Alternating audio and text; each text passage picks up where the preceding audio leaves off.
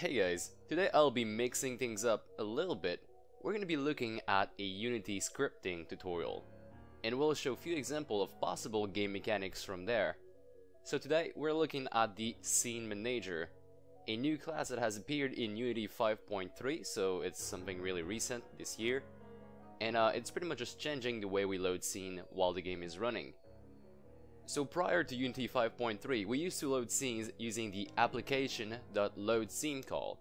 This is now obsolete, meaning that it will eventually be removed completely from Unity. So if you wish to continue working on your project, you'll have to change the way you do the loading. Now of course this does not affect your previous build, your old Unity apps are still going to work if they're built. Alright, so on to the specifics. The Scene Manager class is stored inside of the Scene Management namespace. You will have to include this in every script where you want to use the scene manager, or the brand new scene class. Let's take a look at them. Okay, so here it is. Now, there is a lot of stuff in there, so I'll just highlight the one I use the most. For the one I skip, a small definition is written next to the name of that function. The scene class is straightforward. It holds information about the scene like its name, its current state, its path, and a very nice function that gets all the object composing that scene. Now onto the scene manager. There is a function out there that I use quite a lot. Get active scenes, it returns you a scene object, really useful to have. Get scene at returns you a scene object again, but you pass it a in parameter defining which scene you want, taken from the build settings. Get by Path might be useful if you don't know how many scenes you'll have and if you're loading from a resource folder. So let's just assume it's a game that uh, it's user generated content and your user creates new maps. Those maps are stored inside of the resource folder and you can do a get by path to actually access them. And now on to the most important one, the one that pretty much just forces us to use the scene manager. It is the load scene function. Now, load scene takes in a scene index or a scene name as a parameter but it also takes in a second parameter which is a load scene mode and this is where things gets a little bit more interesting. What you're probably used to do is you load a new scene destroying the previous one completely. You now have the possibility to load a scene on top of your current scene without destroying the previous one. And this opens the window to a lot of cool new way to create a nice game flow. Before we move on to the example, I'd just like to remind you that there is a callback called on level was load and it gives you a hint of the index of the scene that was just loaded. I'm just throwing that information out there so in case you, you've just loaded a new scene and you have a game manager that persists through all the scenes, then you can know which one you've just loaded having this kind of uh, callback. Now onto the example. Alright, so let's take a look at what we have right here. In this first scene, I have a menu. It's a really simple menu. It goes from, um, depending on which button you press, it goes from here to say the shop, or the progress, or the level tab. Now, this is not my game scene, it's just like the, the actual menu, the first menu. If I show you my game scene really quickly, it actually looks like that. It's a simple canvas with stuff in it. And um, let me show you what it gives us in the game what I'm doing is whenever I'm pressing on play, whenever I'm actually loading the menu game, I have two scenes running on at the same time, and it just does a sweet transition like this. So let's look at that again and I'll just pause it midway. As you can tell right now, my game scene is actually scrolling from um, wherever it was, so it actually scrolls from up here to the center of my view, and it does that as I'm loading it. But in order for this to happen, I need to have the other scene uh, rolling, rolling as well. And this is just one way that I can actually use this new multi-scene function. So as you can tell up here, menu, my menu is all there, so my four screens are there. And then the game actually just goes from up here and scrolls down. As soon as my um, game scene takes the whole canvas, the whole view, I actually unload, as you can tell, I unload my game scene and now it's gone. Oh, sorry, my menu scene. Now all I have right now is my game scene. I can just play my game. Alright, so let's look at another example. I will quickly open up another project. And this one is a little bit more complex. It's for bigger games. So let me just show you what I have right here. I have this kind of uh, setup scene. And in here, I have a player. that moves with my input. Let me just show you real quick. I have a player that moves with my input. I have um, this huge piece, this huge uh, mesh. I have a bridge, and on the other side of that bridge, there is another huge mesh. Now, um, in these type of games, if you have a bigger level, if you have a big open world level, you could say, what is going to happen is if you just keep all of those um, in memory, if you just keep all of those mesh in memory, then they're being rendered even though they're not really seen, you know? So you need to actually improve your game performance if you want to have a bigger level. Now, what I did here is I actually split all of them into different scenes. So this thing here is a single scene. The thing that is actually flashing right now, that is a single scene. Now if I go over here, my bridge is a single scene. Now this is a really small object, but I'm actually using this as a transition and you'll see why in a moment. And now over here, this whole thing is actually just a single scene. So all of these three objects are scenes, but there's also one more thing.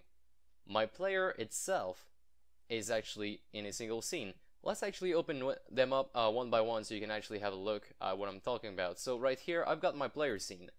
It is a simple um, player just standing there, and also there is a main camera that is used for viewing the player.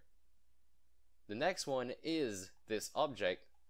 Now I know the lighting is not really good. We can't. You see, I don't. I don't have a directional light. I don't have anything else but the mesh in there. Uh, second, I have a bridge. That's the bridge I was talking about in the middle. And then third, I have this object. Now, something really cool I'd like to show you is that my bridge right here actually has two things, two hidden things. It has two box collider, as you can tell right now if I just toggle them on. There's one here and there's also one there. Now, um, I use them as triggers to actually load and unload the previous and the next scene. Alright, so enough talking, let's go see that in action. Right here, I have my game scene. This is where I actually want to be transferred to. This is going to be the real game scene. It has a directional light because that's something gonna, that is going to be um, across every single scene I have. And I also have a game manager. Now let's quickly open up what is inside of that game manager. The game manager here uh, that I've called scene manager tutorial is pretty much something that has a load and also a unload function on it.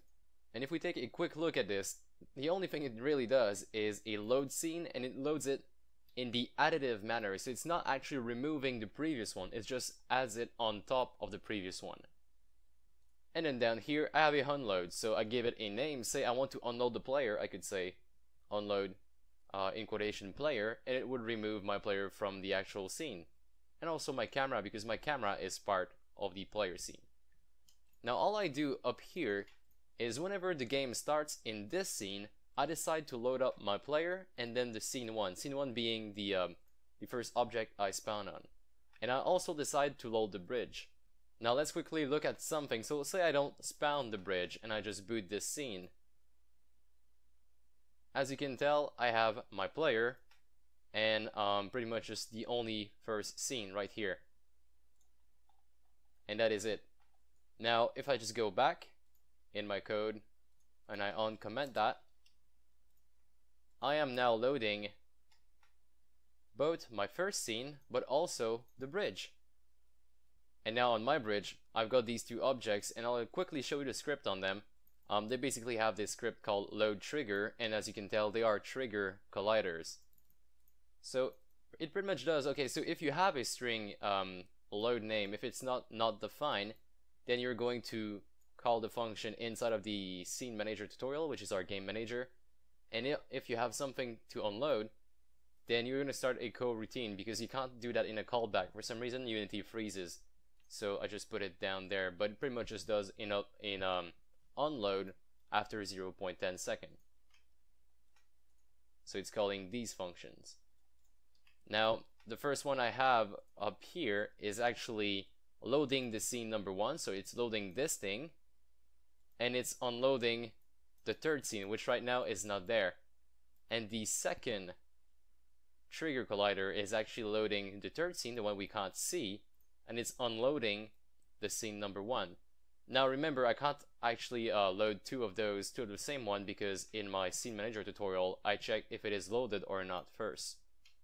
So if it is not loaded, you go ahead and you load it. And as for the unload, if it is loaded, you unload it. Now let's actually have a look in the game what kind of result we get. So I'm going to be walking up to my first, my very first uh, wall, and it's right here. It does pretty much nothing. I just go through it, and now if I move on to my second one, which is right about there, as you can tell, I've just deleted everything behind me, and I've loaded my new scene.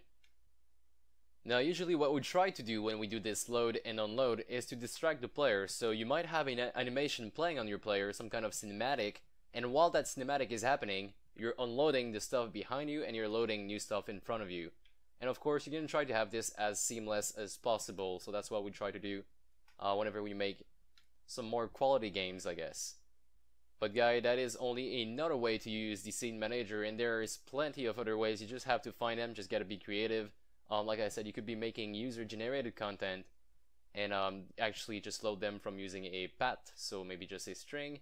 You could be loading them from your web server. You can be loading them from pretty much anywhere. So guys, um, I hope you enjoyed this. I hope this was helpful. If you did like the video, then please leave me a like, really appreciate that as always. And if you have a comment or question, you can post them in the comment section below. Other than that, please check out the Patreon if you wish to support me in whatever I'm trying to do with this channel. Links are pretty much just everywhere in the description and on the channel. So guys, again, thanks a lot for watching and I will see you in the next episode.